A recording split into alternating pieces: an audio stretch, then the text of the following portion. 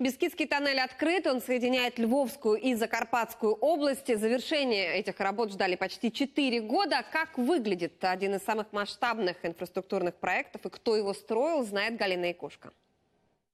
Потяг 2115 по непарній колії запустити. Объява.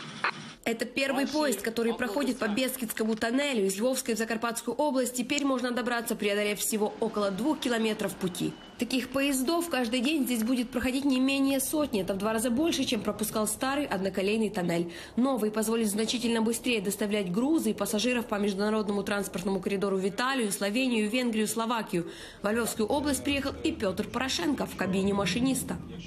60% експортного потоку, який перевозиться залізницею, іде через Бескідський тунель.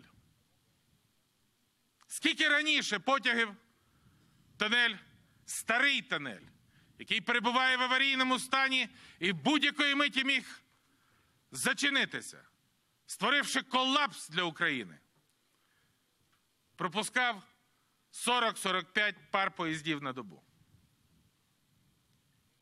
Цей тунель більше сотні.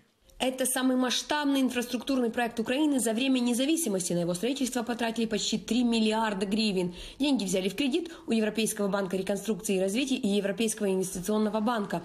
Работы выполняли в основном украинские компании под руководством иностранных специалистов. И завершили проект на полгода раньше, чем планировалось. Европейская фирма, опытная в с- строительстве туннелей, з- з- с тр- 30 лет нашей фирме э, э, опыта в строительстве туннелей. Наша э, основная задача была здесь наблюдение за качеством производимых работ.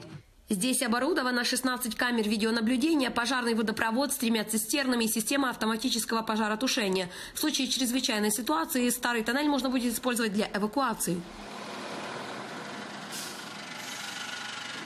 Выступая во время открытия тоннеля, президент напомнил, что деньги, которые были конфискованы у Януковича и его окружения, идут на проведение реформ в разных сферах жизни Украины. За рахунок коштів півтора мільярда доларів, які були конфісковані в Януковича і його кліки, для того, щоб будувати сільську медицину, для того, щоб будувати армію, виробляти боєприпаси, будувати вже не казарми, а гуртожитки для українських контрактників, збільшити обороноздатність держави. После торжественной церемонии Петр Порошенко отправился на Яворский полигон инспектировать всеукраинский проект по строительству новых общежитий для контрактников. Со временем в них смогут разместиться 23 тысячи военных.